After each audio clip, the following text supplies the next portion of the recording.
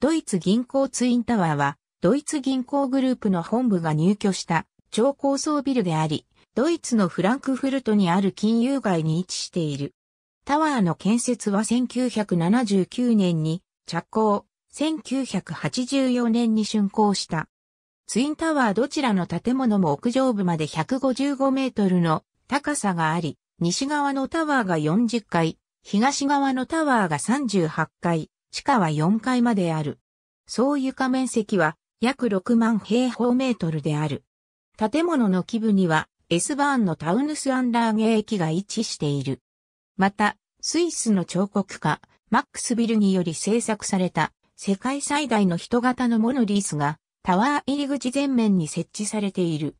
このツインタワーはそのメディアによる取材の多さでドイツで最もよく知られた建造物の一つとなっている。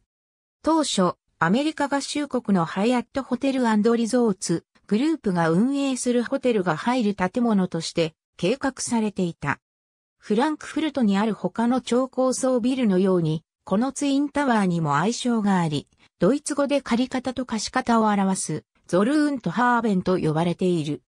2001年のアメリカ同時多発テロ事件により、ニューヨークにあった世界貿易センタービルのツインタワーが倒壊した後にもかかわらず、フランクフルトに住む英語を話す人々の間では単にツインタワーと呼ばれている。ありがとうございます。